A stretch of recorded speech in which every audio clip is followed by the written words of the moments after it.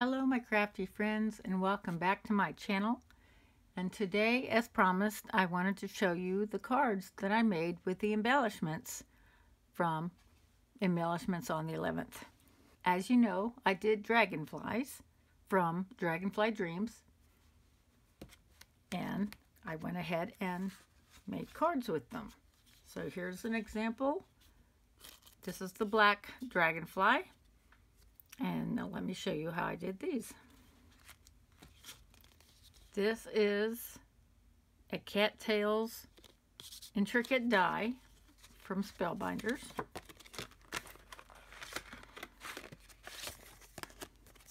And as I'll show you, I made several different colors.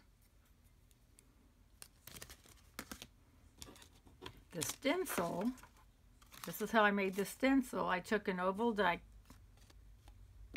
and cut this out of it and then I just put this over a piece of five and a quarter by four paper and I washi taped it down and then I used my distress inks and I did use some Stampin' Up! ink also in my finger daubers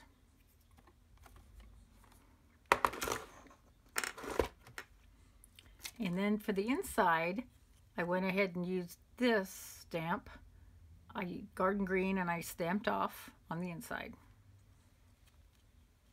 So this is the first one I just showed you. This is the really pretty nappy paper that I got from scrapbook.com.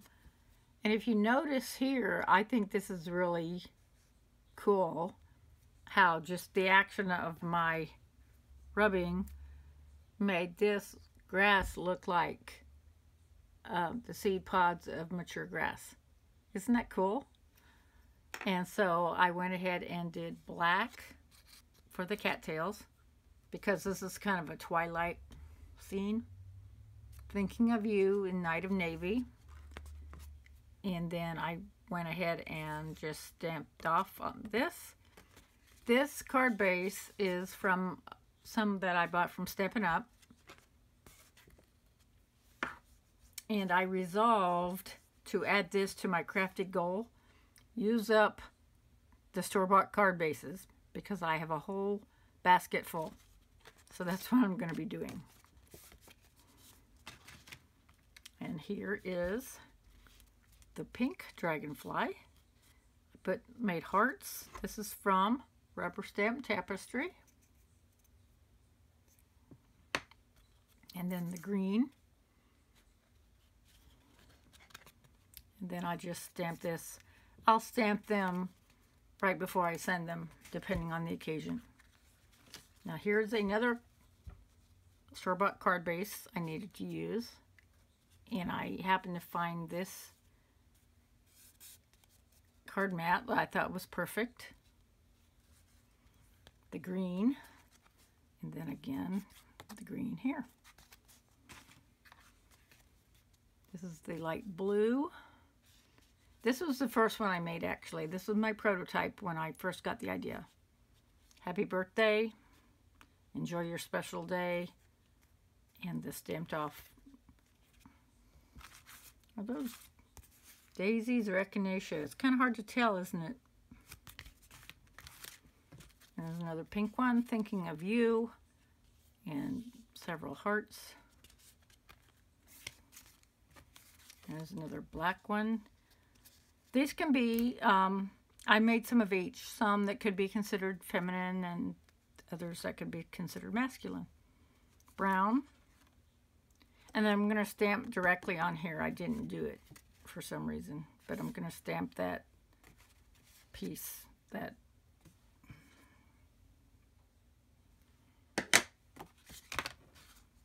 And here's another. You are amazing. Stamp that directly because it's I'm going to stamp it in black and so that's going to be fine.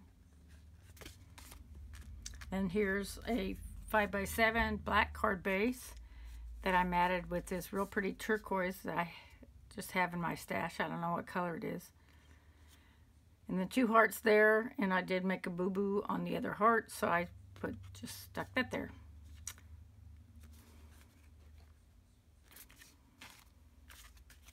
And this is one the bright lagoon color that I got from scrapbook.com.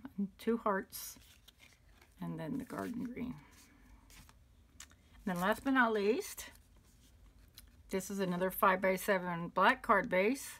The black dragonfly, the twilight look, and then again how it looks like the seed pods of mature grass.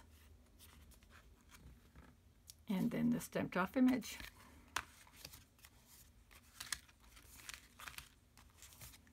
Thank you for joining me.